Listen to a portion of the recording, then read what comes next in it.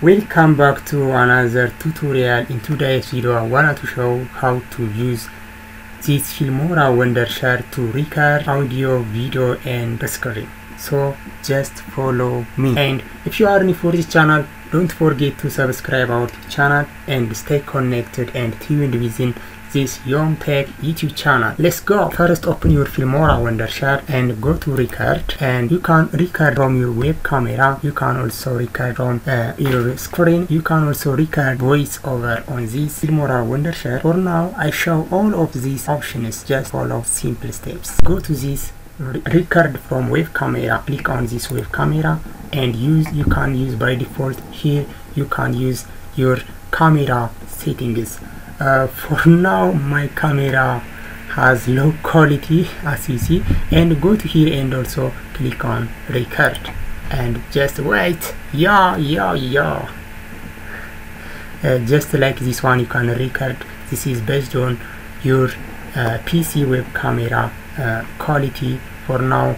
Uh, sorry for camera quality. Select the size on here.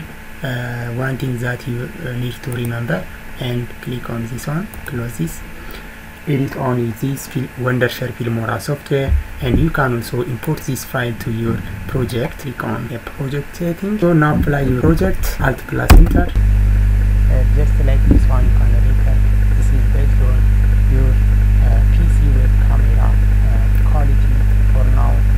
Uh, sorry for camera quality. Make sure save your project we can record a screen from your PC, record PC screen on this option. And right here as you see there is a wide screen you can also record a full screen you can also use a customize customize as you need or target window. For now just click on full screen and start on record.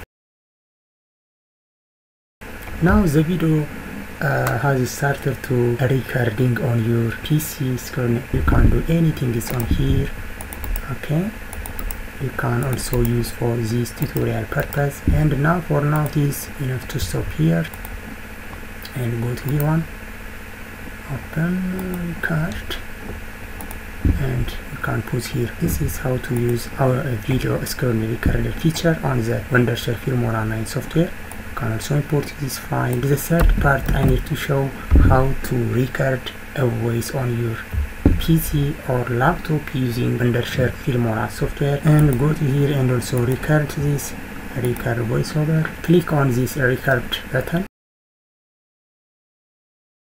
Welcome back to another tutorial video. In today's video I wanted to show how to record video, audio and screen record using Wondershare software just like this one. Yo, this channel don't forget to subscribe our channel and stay connected and tuned within this Yom Tech YouTube channel. Yo, finally click on OK. You can also uh, use this audio to make your voiceover. Yeah, you see here. Okay, see the track okay. and need to use this as a voice record. Okay, just like this one, you can use Filmora Wondershare to record video, screen and audio side. So just like this one. If you love this video, hit the uh, subscribe button, like the video. Yo.